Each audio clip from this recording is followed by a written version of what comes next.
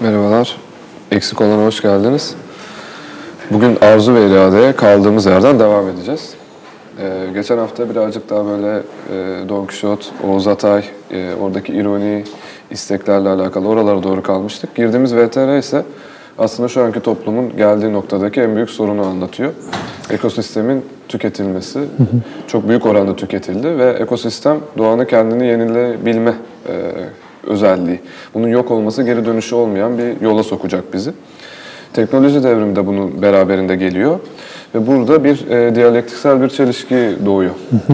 E, bunu Harari de sık sık atıfta bulunuyoruz. Sapiens kitabının yazarı. Homo Sapiens kitabında bahsediyor. Ee, şöyle, yani bu izlediğimiz videoda kısa filmde diyelim, bir arzunun sınırsızlığı, yani insan arzusunun sınırsız olduğu ve hiçbir zaman tatmin olmadığı kısmı. İkincisi de gene geçen programda bahsettiğimiz insanın kendini evrenin merkezine koyması ve ondan sonra da gelen doyumsuzluğuyla hiçbir şeyden tatmin olmamasına geliyor. Ee, biraz bundan bahsetmeden önce Homo Sapiens kitabından biraz bahsetmek istiyorum. Aslında bununla çok ilintili. O da şöyle, işte e, Homo Sapiens kitabında genel olarak insan ırkının e, hikayesi anlatılıyor ve bu hikayede işte e, evreler veriliyor zamansal olarak. Biraz insanın e, gelişimini görmek için mesela 13,5 milyar yıl önce çok büyük bir zaman işte Big Bang, büyük patlama oldu. Bundan 300 bin yıl sonra atomlar oluştu ve 70 bin yıl önce de ilk insan türü ortaya çıktı. Şimdi tarih skalası yaptığımız zaman 13,5 milyar yıl önce, onun 3, onun 300 bin yıl sonrası atomların oluşması, sonra da 70 bin yıl önce insan. Şimdi çok büyük bir zaman ve insan bu süreç zarfında 70 bin yılda kat ettiği e, mesafe hani hem kültürel anlamda hem de işte teknolojik anlamda, bilimsel anlamda çok fazla. Fakat bu, bu çok hızlı bir zaman aralığı. Zaten Yuval Harari'nin Homo Sapiens kitabında da insanın doğayla olan bağları ve ondan sonra gelişiminden bahsediyor. Ama orada tabii bir evrimsel sürecin bütünü olarak bakıldığı Kesinlikle için öyle. hani mesela şey dedim nörobilimde de öğrenme alışkanlıklarını çeşitli salyangozlarda şeylerde denetlediklerinde aslında öğrenme davranışlarının çok hayvanlarda da benzer olduğu anlaşılabiliyor. öyle. Dolayısıyla bir devamlılık da var. Yani 70 bin aslında bizim merkeze kendimizi koyduğumuz İşte. Homo sapiens'in Ben de onu söylemek istiyordum. İşte filmin de tam olarak Homo sapiens'le ve bu arzu ve irade konusu kesiştiği nokta da aslında bu.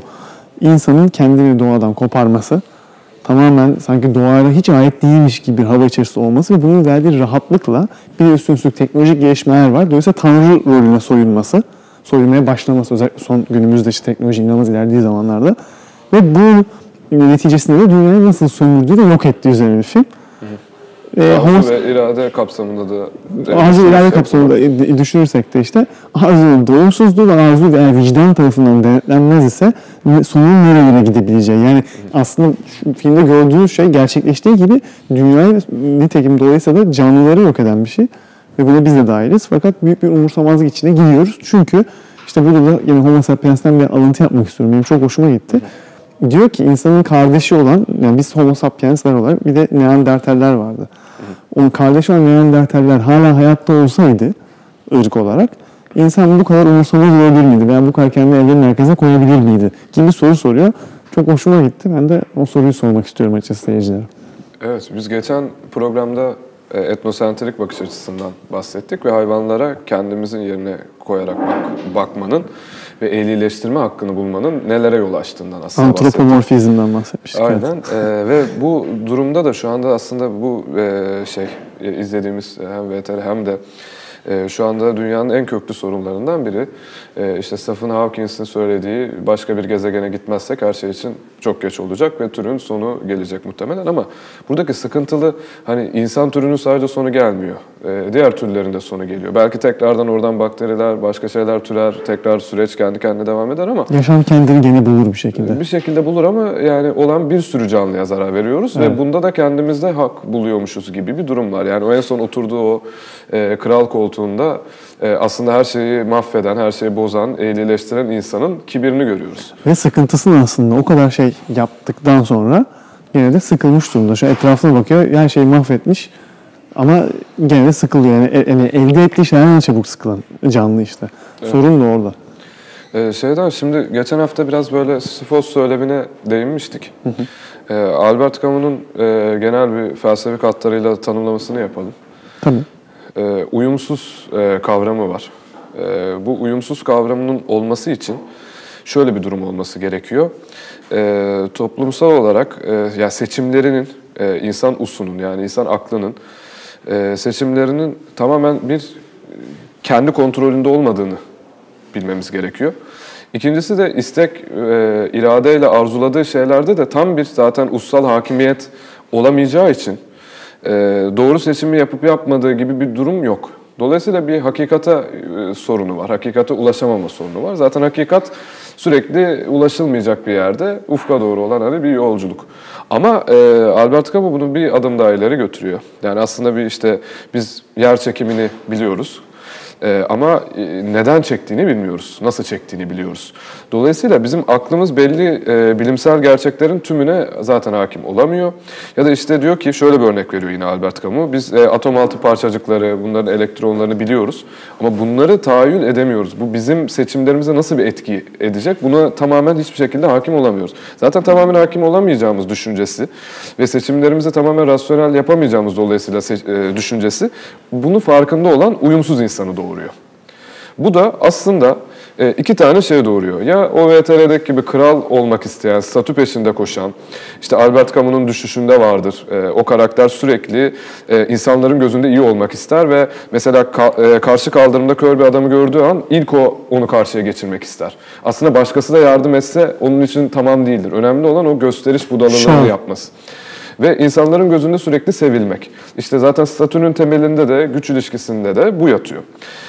ya buna kapılan insanları görüyoruz ve hayatları boyunca e, aslında ne kadar çaresiz olduğumuzu, ne kadar e, aklımızın sınırlı bir şeyler hakim olabileceğini e, bilmeyen insanlar olarak bunları tanımlayabiliriz. Bunlar uyumlu olan insanlar. E, ama bunun e, tamamen mümkün olmadığını, seçimlerimizin tamamen ya evet ya da hayır demekten ibaret olduğunu, e, intihar etmenin ya da hayatta kalmanın ya da bir seçimin sonuçlarını hiçbir zaman kestiremediğimizden dolayı uyumsuz insan türüyor. Böyle ikili bir e, çelişki var. Ama uyumsuz insan daha farkında olan insan, daha bilinçli olan insan ve e, Albert Camus'un daha önem verdiği insan tipi. Çünkü en azından bir şeyler farkında, buradaki absürtlüğü farkında. E, peki buna çözümü ne olacak? Buna çözümü de işte Sisyphos e, söylevini verdiği, işte kitabının son aslında 3-4 sayfasında bahsettiği, tanrıların cezalandırdığı bir karakter Sisyphos ve e, yamacın en tepesine kadar sürekli bir kaya taşıyor. E, kayayı tabii taşırken usu çok şeyde değil çünkü yoruluyor. Ama tekrardan kayayı en tepeye bıraktıktan sonra aşağı doğru inerken düşünme süresi var. Ve kayanın tekrardan bir zaman sonra düşeceğini tahmin edebiliyor. Bunu şöyle anlamlandırabiliriz. E, şu anın hani en iyi yazarları bile, işte Dostoyevski diyelim, işte yönetmen olarak Tarkovski diyelim, bunlar bile bin sene sonra muhtemelen hatırlanmayabilir. Dolayısıyla o taş bir gün düşecek ve sen her zaman bir kalıcı bir şey de bırakamayacaksın, bir kalıcı anlam zaten bırakamayacaksın. E, dolayısıyla o taşın düşme sürecinde düşünüp farkında oluyor. Ama tekrardan o işe koyuluyor. Ve bu işte hayatın o dengesinden, o yaptıklarından, küçük şeylerden aslında mutlu olma gibi bir duruma doğru çıkıyor. Bu dediğine bir örnek vermek istiyorum. İzleyicilerimizden bir tanesi bir, geçen bir yorumuna rast geldim Viktor Frankl ile ilgili. Hı hı. E, Viktor Frankl'ın dediği işte insanın mücadelesi aslında olmak istediği kişiyle olduğu kişi arasındaki farktan ibarettir der. Ve hep bunun arası bir mücadele sürer. Hatta veya Schopenhauer'da hani bunun gene bir iç çekişme olarak, can çekişme olarak e, anlamlandırır. İşte burada senin dediğin Sisyphos söylemiyle aslında bağdaşıyor. Çünkü hem amaçlarımız var, olmak istediğimiz bir kişi var, idealize ettiğimiz kişi ve sürekli ulaşmak için çabalıyoruz. Ama aslında idealize ettiğimiz kişi somut ve duran bir şey değil. Sen nasıl hakikatin ulaşılacak bir şey olmasından ziyade her yerde olduğunu bir şey olmadığını, duran bir şey olmadığından bahsettin, durgun olmadığını. Bu da öyle bir şey. Çünkü idealize ettiğiniz kişi siz de zamanla geliştiğiniz için her zaman ilerleyecektir, gelişecektir veya değişecektir. Dolayısıyla aslında biz hep değişecek, hiçbir zaman sabit olmayacak bir şey kovalamaya çalışıyoruz. Ve her zaman kafamızda bu değişen fikre bakıp kendi olduğumuz kişiye bakıp aradaki farktan rahatsız olup sürekli bir mücadele için giriyoruz. Aslında biz mücadele etmeyi seviyoruz geliyor. Ben hani herhangi bir insanın tamamen evet ben idealize ettiğim kişi olmaya ulaştım ve e, bu kadar yeter deyip durduğuna inanmıyorum. Bu hisse tabii ki bazen elde ediyoruz. Hepimiz elde etmişizdir bu hissi ama biz burada durmuyoruz. Durmak da istemiyoruz. Hatta durursak sıkılıyoruz. Hı hı. Ve kendimize yeni uğraş yaratıyoruz. Biraz son bir şey daha ekleyeceğim şu an aklıma geldi konuşurken. Alexis Zorba'nın Nikos, e, pardon özür dilerim, Nikos Kazantzakis'in e, Zorba diye bir kitabı vardı. Evet, Alexis Zorba karakteri. karakteri. E, Zorba karakteri hep şeyden bahseder. Hayat problemdir sadece ölüm problemi değildir. Hayatta kalmak için problemler peşinde koşmalı gibi bir cümlesi vardır. Tabii ki de ben buradan depresif ve problemler dolu bir hayatı söylemek istemiyorum ama evet. şunu söylemeye çalışıyor. Mücadele insanı canlı tutar. Mücadele, heyecan, duygularla sürekli haşır neşir olmak, sürekli yapacağınız bir şey olması, bir hedef koyabilmeniz, hep yapacak bir şeyiniz olması ve hiçbir zaman bitmemesi insanı canlı kılar. Eğer bir şey bitiyorsa istediğiniz kadar düzgün, iste, hayal ettiğiniz bir nokta olsun o bile sıkar. Buna en büyük örnekler mesela yaz tatilleridir. Yani bütün sene çalışırsınız ve çok yorulursunuz ve yaz tatili hak ettiğinizi düşünürsünüz. Ama tatile girdikten birkaç süre sonra herkes için değişir bu süre. Sıkılmaya başlarsınız çünkü artık o dinlenmeye de alışmışsınızdır. Yani aslında özlediğiniz hep değişikliktir. Evet, evet değişikliktir ama işte buradaki e, hedeflerin de çok ciddi olmadığını farkına vararak tabii yani. Çünkü bir şeyin kötüye mi iyiye mi neden olacağını gerçekten felsefik düzlemde tam anlamıyla anlamamız mümkün değil. Kesinlikle. E, bununla ilgili mesela daha eylemi övücü şekilde Deleuze'ün e, şeyleri var. E, düşünceleri de tabii burada var. E, burada öncelikle ben birazcık David Hume'un ampirizminden tabii. bahsetmek istiyorum. Yani e, şimdi nedir? Bir nedenselliği e, bir oluş olarak, sıralı bir bağıntı olarak görüyor. A noktasından B noktasına sürekli giden e, şeyleri biz nedensellik olarak kafamızda yorumluyoruz. Ama bunun aslında nedensellik değil, bunun sadece bir en fazla olasılık içerilebilecek ve bizim oraya beynimizde yarattığımız bir odak noktası. Dolayısıyla burada bir deneyselci sadece bir iz düşüm oluyor.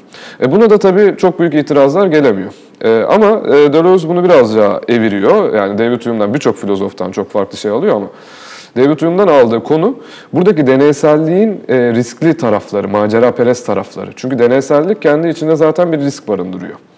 E, yeni bir şeyler ortaya çıkarıyor. Sen neyin çıkacağını tam bilemiyorsun. Belli olasılıklar ve dolayısıyla bu oluşu e, farklı bir şekilde yeniden tanımlayacak ve diyecek ki bizim mesela bilinç dışı sorunlarımız var. Biz bu bilinç dışı sorunları aşmak için geçmişe evet farkına varalım ama o sırada yeni bir oluş inşa edelim, yeni bir eylem inşa edelim. Zaten bu yeni oluş bağıntısıyla beraber diğer etrafımızdaki bakış açıları ve başka şeyler de değişmeye başlayacak. E, dolayısıyla bunu bir bütünsel bir bağıntıya, bütünsel bir bağlama alıyor. Bunu da deneyselliği yani burada deneyici olmak, yeniliğe işte belki bunu açık olmak olarak da görebiliriz. Ve önemlisi, en önemlisi o e, kendinin olduğundan farklı bir hareket deneyebilmek. Yani kendini yeniden yaratmak gibi de süreci görebiliriz. Hı hı. Çünkü böyle olduğu zaman gerçekten yeni bir oluş getirebilir. Tabii ki bunun pragmatik tarafları da vardır felsefik anlamda. E, neden pragmatik, faydacı tarafları var? Çünkü daha eylemsele dönüktür daha e, protesttir, daha şeydir. Mesela Albert Camus'unkini, e, Richard Dawkins'in şöyle bir eleştirisi var Sifos söylemindekini. O zaman kas sisteminde olan e, Hindistan'daki bir e, çöp toplayan bir insan olabilir. E, bu insan bir başka hiçbir şey yapmaz mesela, okumaz Hindistan'da. E, dolayısıyla başka bir meslek de yapmak istemez. E, kendi halinden çok memnundur. Yani bir çeşit bir polyanacılık vardır çünkü öteki durumu bilmez. Bu bizim kaderimizdir bakış açısı. Rearkarnasyon falan bunlarla birleşir. O zaman bu insan böyle çalışmaya devam eder ve mutlu olur gider der. Hı hı. Ve yükselmek için ya da e, durumu bir çaba için. durumu değiştirmek için bir çaba sarf etmezler. Böyle bir eleştiri vardır. Hı hı. E, Dostoyevski'nin Beyaz Gecelerinden de galiba tutkuyu bahsedebiliriz. Ne dersin? Yani aslında Dostoyevski'nin e, bilindik romanlara bakın işte ne bileyim Budala, Suç ve Ceza, Karamazov Kardeşler, Kumarbaz, Eciniler gibi veya işte yer altından notları ki sen çok seversin.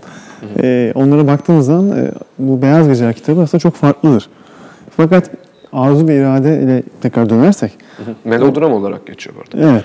arzu ve irade tekrar dönersek o arzu kısmındaki biraz da arzu ve aşk olarak bu kitaptan bahsedebiliriz. O da şöyle. Aslında kitap çok basittir. Kitapta bir karakter vardır. Yazar St. Petersburg'da geçer hikaye. Ve yazar, e, bu yazar açıkçası hiçbir arkadaşı olmayan, işte şehri kendi arkadaşı olarak gören, şehirdeki insanların moduna göre mod değiştiren, sürekli yürüyen, gezen bir karakterdir. Pek yakınlık duymaz insanlara ve asıl yalnızdır. Bir tane Nastenk adlı bir kız vardır. Ve bu Nastenk adlı kız ninesi yaşamaktadır. Ninesi kördür. İşte hatta sinirlendiği zaman işte iğneyle kızı eteğinden kendine tutturmakta ve hareket etmesini engellemektedir. Ki enteresan bir e, metafor aslında baktığınız zaman. Ve bu Nastenka'nın da işte tek eğlencesi aslında onların o binasına taşınan bir taşralı kiracının zamanında ona aşık olması, birbirine aşık olmaları. Fakat sonra taşralı kiracının ayrılması, Moskova'ya gitmesi ve ona bir söz vermesi. Ben bir sene sonra geri döneceğim ve o zaman biz evleneceğiz. Ve o bu hayalle senelerini geçirir, bir seneyi aşar ve hala gelmemektir e, bu kişi. Nastenka da yazarla karşılaşır ağlarken. Ondan sonra yazar da işte onunla konuşur uzun uzun.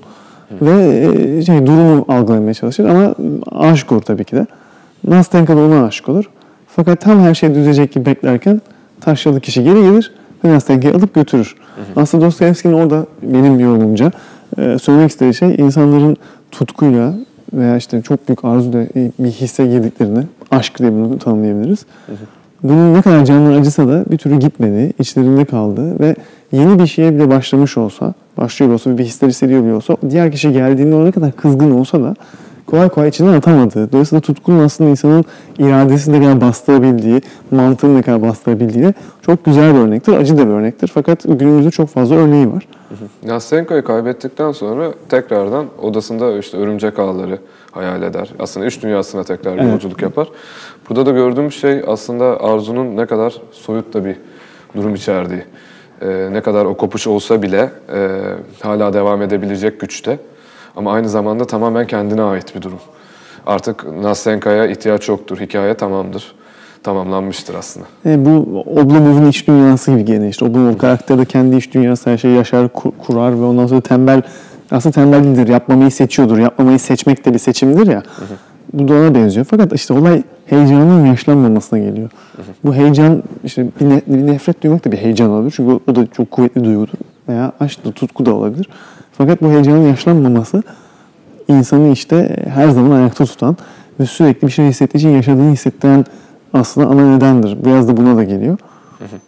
Ya şimdi şey bu arzu tanımlarında e, felsefik olarak e, Nastenka'ya yaklaşırsak e, şöyle bir durum var bence. Üç tip e, Kantçı perspektiften arzu tanımı yapıyor. Aslında bunları pardon yeti tanımı yapıyor. Peki. Bunlar bilmek yetisi, arzu, arzu yetisi ve haz ve acı veren e, yetiler olarak. E, bir tanesi bilme yetisini öznenin nesneyle uyum ilişkisi olarak tanımlayabiliriz. Diğerinde öznenin nesneye dair tasavvuru. Arzuydu Ee, bahsediyorsun mi? evet, evet. Yani bir e, işte e, ne diyelim işte Nastenka'yı Görüş şekli. tasavvur ediyor, görüş şekli. E, aynen. Ee, öznenin bizzat nedeni oluyor. Öznenin bizzat hayatının nedeni oluyor olarak Evet. tamam tanımlayabiliriz. Bu asıl arzu yetisini e, Kantçı bir mantıkta bakarsak yaratan unsur.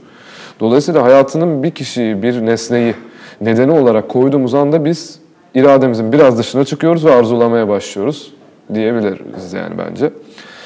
Ee, Bununla ilgili kısa bir şey söyleyeyim mi Arzu ile ilgili? Özellikle aşk kısmına bağlayacağım.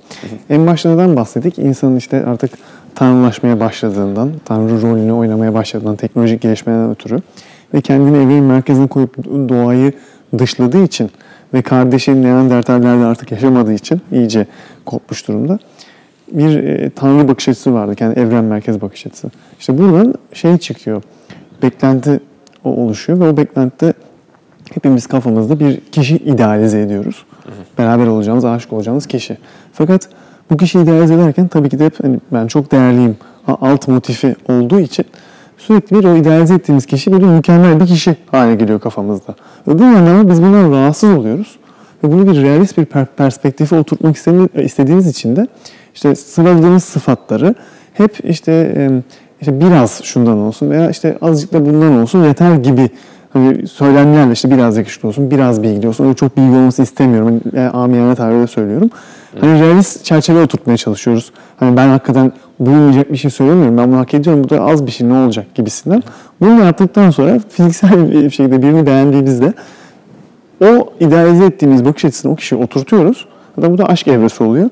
Fakat sonra bu uyuşmadığını reel, reel e, şeylerle, verilerle kişinin e, senin dediğin kişiyi tezahür ediyoruz ya, o tezahür ettiğimiz kişiyle gerçek kişi arasında farklılık çıktığı zaman da işte ya Evet. ya başka bir aşka e, seyahat ediyoruz veya da işte a- gerçekle yüzleşip sevgi ortamı içerisinde yürütmeye çalışıyoruz. Evet, Aslında yani bunu Albert. Camus'un mesela yine Sifos söyleminde denemelerinden birinde Don Juan örneği var. Don Juan'ın e, aşk anlayışı. Neden e, bu tamamen hovarda bir tipleme. Don. E, kadından kadına e, koşuyor Don Juan ve e, sürekli e, aşık aşkı aslında kadınlarla yaşıyor. Onlara bunu veriyor ama kendisi bir şey hissetmeden onun zamanı dolduğunu hissettiği anda başkasına geçiyor. Aslında klasik bir uyumsuz olduğunu söylüyor Don Juan karakterinin. Çünkü e, her şeyin geçici olduğunu, tutkunun aslında e, geçici olduğunu biliyor. Ve sadece bir yapış halinde, duygu hissetme ya da şey halinde olarak bir durumda değil. Yapmış olmak için. Ee, evet yani tutkuyu hissetme ve yenisine. Aslında bu hayatta dalga geçen o işte o e, şeyden bahsediyor. Dalga geçici o kahkahasından bahsediyor. Uyumsuz bir karakter olarak niteleyebiliriz. Şimdi burada e, irade ve arzuyu irdeleyeceksek bir de bu e, tercihleri biz mi yapıyoruz meselesi var. Yani şimdi biz bir şey arzulayabiliriz ama bu uzaktaysa bunun arzulamanın mantığı çok olmuyor.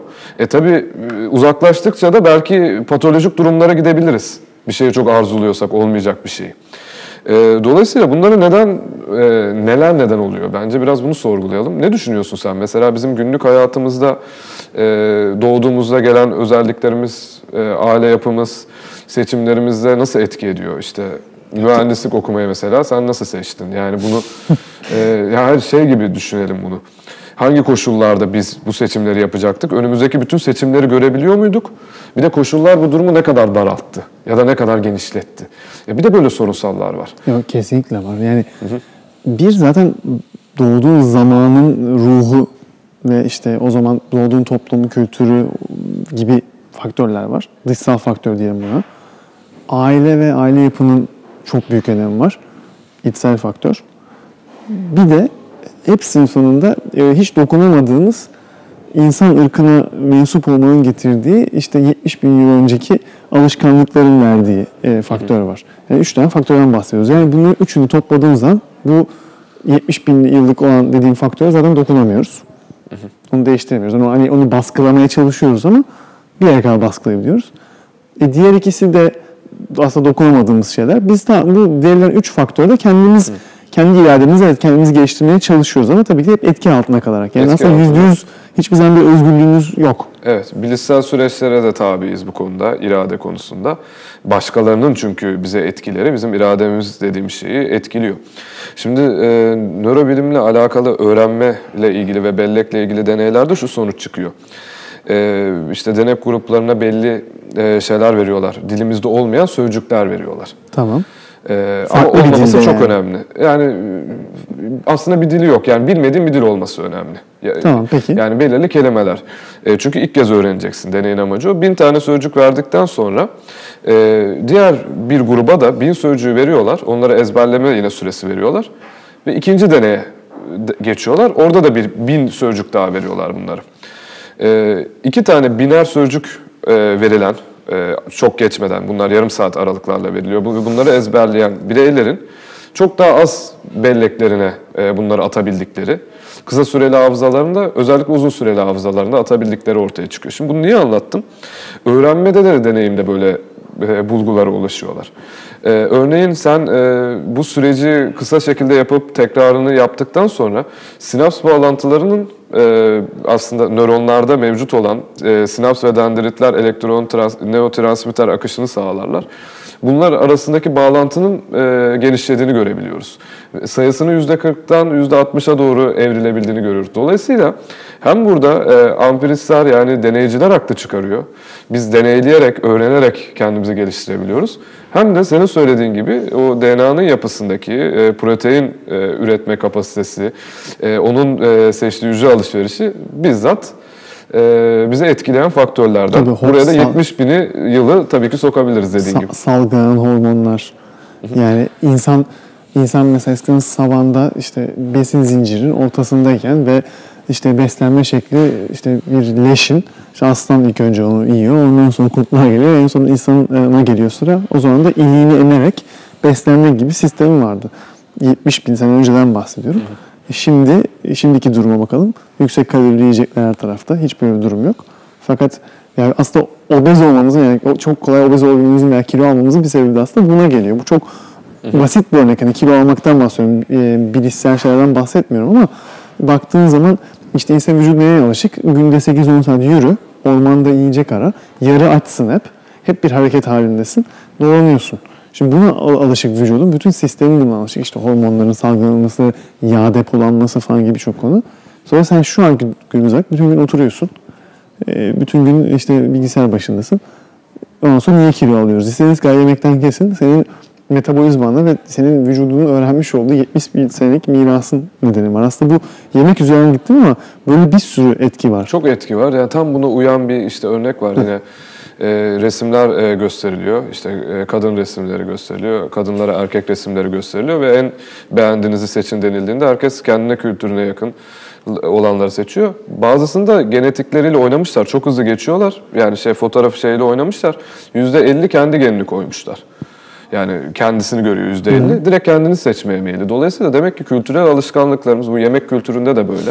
İşte Çin'deki e, e, yemek şeyler aslında bu arada Çin mutfağı çok daha genişmiş düşündüğümüzden. Yani sürekli adamlar böcek yemiyor en nihayetinde ama e, bizim zorlanmamız işte Hint yemekleri olabilir şeyler. Bu bile aslında güzellik kavramının ve bizim sevdiğimiz şeylerin ne kadar estetik açıdan kültürle alakalı olduğunu e, çıkarıyor ortaya. Dolayısıyla istek ve arzularımız da kültüre biraz bağımlı. E, Yani- bunu yani ben böyle düşünüyorum. Bilmiyorum ne dersin? Kesinlikle öyle. Yani zaten bu ba- bağımsız olmama durumu, aslında bağımlı olma durumu insanı çok sorgulatıyor. Yani biz bir aileye doğuyoruz ve en nihayetinde o ailenin verdiği kültür ve birçok bakış açısına göre e, etkileniyoruz. Dolayısıyla böyle olduğu zaman da e, bağımsız olmuyoruz bir şekilde. Bağımsız olmadığı insan şunu sorguluyor. E, her şey kendi karar verdiğini düşünüyorsun iradeyle. Ben yönettim, ben başardım. Ve hep böyle ben ben ben çünkü açıkçası bireysellik hep öne çıkarılıyor. bununla gurur duyuyoruz, mutlu oluyoruz. Fakat arkaya baktığımızda aslında işte daha az önce bahsettiğim biyolojik nedenlerin birçoğunun eseriyiz. Tabii tabii. Yani mesela burada korku faktörü de isteklerimize çok geçerli. Yani sen bir şey çok isteyebilirsin ama aynı zamanda o istediğin şey sana çok korkutucu bir başka durumda getirebilir. Dolayısıyla bu ikisi çarpışacak ve beyinde de yani mesela yine bakıldığında e, amigdalanın işte devreye girmesi, işte korteksle mücadelesi, Hı. işte o nöron aktivasyonu bilmem ne yani şimdi bunları inceliyorlar ama yani sadece sosyal olarak düşünsek bile bunu anlayabiliriz. Çok istediğimiz şeyler aynı zamanda çok korktuğumuz, çok o kadar da belki e, iyi yanları olup aslında aynı zamanda da çok kötü yanları olacak seçimlerde yapıyoruz. Yap, yani yapmaya zorunlu tutulabiliyoruz. Ya da istemediğimiz seçimler yapmaya zorlanabiliriz. Ee, tamamen işte ne bileyim bir sorumluluk üzerimize biner, bir çocuğumuza bakmak e, zorunda oluruz ve hayatımıza en sevdiğimiz tutkumuzu bırakmak zorunda olabiliriz. E, kendimizi sürekli baskılıyoruz işte dediğin şey geliyor. Mesela örneğin Richard Dawkins hep şeyden bahseder. İşte biz her gün işte e, zevk için işte cinsellik yaşayarak ama üremek için değil ve bu, korunarak aslında en önemli ve birinci e, doğal e, şeyimize içgüdümüze e, şey karşı çıkıyoruz. Üreme içgüdüsüne diye. Sürekli bir kendini bastırma var. Çünkü niye? Toplumda yaşıyoruz. Toplumun bazı kuralları var, normlar var ve hep bir bu baskı altında yaşadığımız için de aslında kendimizi de ters yaşıyoruz. Yani bu o yüzden işte bugün bu korkuyla ilişkisini e, yani bir de e, seçimlerle ilişkisini e, isteklerin. Genelde de e, önümüze set çıktığında yani e, isteğimiz isteğimizin önü daha kapalı olduğunda sanki arzu daha çok artıyor. Bir de bu duruma girmek istiyorum. Yani aslında e, Beyaz Geceler'deki karakterin bu kadar tutku duymasının nedeni o kadar da sosyal olmaması herhalde. Yalnız kimse onunla konuşmuyor. Hiçbir iletişim yok toplumla ilgili. Bir düşünsene bir insan düşün. Bütün gün boyunca şehirde dolaşıyor şehrin banklarına oturuyor, binalara bakıyor ve bundan büyük haz alıyor. Yani kendini St. Petersburg şehriyle aslında özdeşleştirmiş. Benliği o kadar boş ki, o kadar aç ki sosyalleşmeye bir şehirle kendini bir araya getirmiş. Yani bir bina ile kafasında konuşuyor aslında. Ve ilk defa canlı kanlı biri onunla konuşunca ve bu Nastenka gibi kitapta yazıldığı kadarıyla güzel bir kadın olunca bu, bunun direkt tutkuya dönüşmesi çok normal. Evet yani burada bir işte tatmin e, istek e, dengesi var. Mesela hedonistik, daha hedonizm dediğimiz yaşantıya dönük insanların e, işte o Wolf of Wall Street miydi filmin ismi? Mesela orada işte artık e, zevk alamıyorlar hiçbir şeyden ve gitgide daha fazla e, sını istiyorlar falan ama mutsuzlar falan bunu görüyoruz. Yani çıldırıyorlar, başka şeyler yapmak istiyorlar. Dolayısıyla bu tüketim odaklı yaşantının ilk e, duruma ekosistem sorunlarının da özüne dönersek durumu e, arzunun sınırsız bir şekilde tatmin edilmesi. Dolayısıyla arzunun aslında kalması, biz acı çeksek bile bir yerde kalması e, belki de daha iyi. İnsanlık açısından da daha. Yani arzuların tatmini ulaştıkça doyumsuzluk oluyor. Ve doyumsuzluk oldukça insan daha fazlasını istiyor. Böyle bir e, Biraz şey yapı ya, oluyor genelde. Aristoteles, Kapitalist yapı da tabii bunu kültürel olarak şey yapıyor. Aristoteles iradene hakim, vicdanını ama vicdanın eseri ol demişti. İşte bu da biraz ona geliyor. Ya aslında şöyle bakalım mesela insanın beğenilmesi değil mi? Müthiş bir, e, insan için çok önemli, günümüzün çok önemli konusu hatta. İşte bunun için spor salonuna gidiyor, insanlar büyük zaman harcıyorlar işte güzel gözükmek için. Bukowski'nin, e, Charles Bukowski'nin e, Kasabanın En Güzel Kızı adlı bir kitabı vardı. O kitapta bir bölümde bir pasaj vardı, benim çok hoşuma gitmişti. İşte güzel bir kız var ve çirkin bir kız var, konuşuyorlar ve işte çirkin kız şey diyor güzel kıza. Sen niye işte hani burnuna iğne batırıyorsun veya üzerine çiziyorsun? Hani niye kendi güzelliğine uğraşıyorsun bu kadar? Ben senin gibi olmak için neler vermezdim diyor. Güzel kız da şöyle bir cevap veriyor. Güzel olmak hiçbir şey değildir. Çünkü güzel olduğu zaman kimse sana karşı gerçek değildir. Ee, biri benden hoşlandığı zaman veya bana bir adım attığı zaman bunun benim sadece güzelliğimden kaynaklandığını düşünüyorum. Fakat çirkin olduğu için sen özgürsün. Çünkü en azından seninle ilgilendiklerinde hakikaten sana değer ve ilgilendiğini biliyorsun demiştir ve orada hakikaten e, bölüm boyunca yani kısa hikayeden oluşur genelde bu Kolskin kitapları. Bölüm boyunca kendine uğraşır ve en sonunda kendini öldürür zaten. Şimdi baktığın zaman bir insanın yaşama içgüdüsü ve işte doğada patlayan yaşam ve sürekli yaşamak ve üremek ve sonraki nesile aktarmak üzere kurulu bir doğal yapımız var biyolojik olarak. Fakat bu kitapta anlatılan olay, hikaye ki bu hikayelerde görüyoruz günümüzde birçok insan intihar ediyor. E, aslında gene biyolojik yapına ters geliyorsun. Yani gene karşı çıkıyorsun. Burada tabii birazcık şey e, yani feminist bir perspektiften de ele alalım. Tabii. al. Erkeklerin aslında orada metalaştırması Kesinlikle. durumu var. Yüz. Yani bir e, güzelliği bu kadar fazla e, önemseyen bir işte kapitalist yapı e, bununla ilgili işte ve bu moda aşırı bir hızla değişiyor. Yani yetişemediğimiz şekilde işte bol bermuda şortlar birkaç seneye kadar çok modaydı.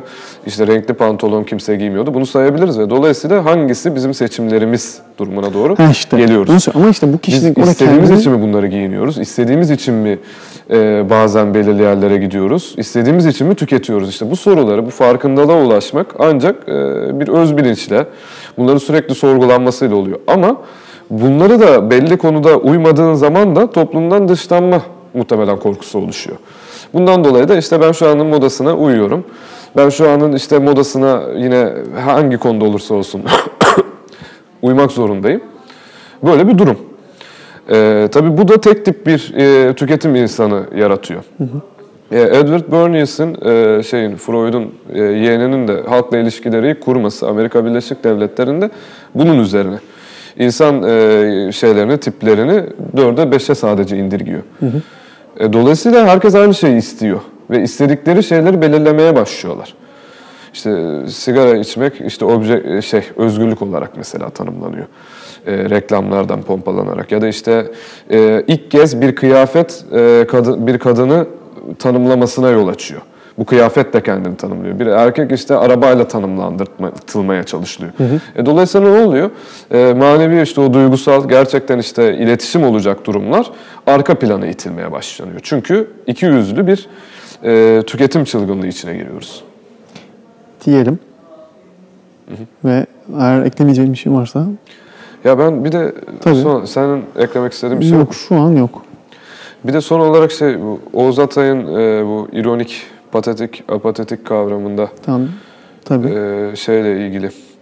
E, ya bizim bilgiyi gözlemlememizle ilgili e, bir ansiklopedik bilgi olan bir bilgi tarzı var. E, bir de buna bir nesneye duygu atfetmemiz var. E, yani işte bardağı bir canlıymışçasına betimle, betimleyebiliriz. E, bu iki e, durumla da aslında dalga geçiyor. Ve hem e, Batı'nın e, bu iradesine daha hakim, daha pozitivist bakış açısı var ve sürekli isteyen, ilerletmek isteyen bir pozitivist anlayışından bahsedebiliriz. Hem de daha e, Doğu kültürüne özgü işte metaforik o Binbir Gece masalları, işte Hüsnü Aşk gibi eserlerde de gözleyebileceğimiz o müthiş bir edebiyat çılgınlığı durumu var. Metaforik ama bunlar. Şimdi bunların arasındaki çelişkiyi belirtiyor. Bu çelişkiyi arzu konusuna şöyle bağlayacağım. Ee, ikisinde de belli şeyleri, iki bakış açısında da belli bilgi türünü arzuluyoruz. Ee, ama bizi ikisi de tam olarak zaten tatmin etmiyor. Dolayısıyla bilginin arzu edilmesi de kültürden kültüre göre ve bilginin aktarılması da dilden dile göre sürekli değişiyor diyelim.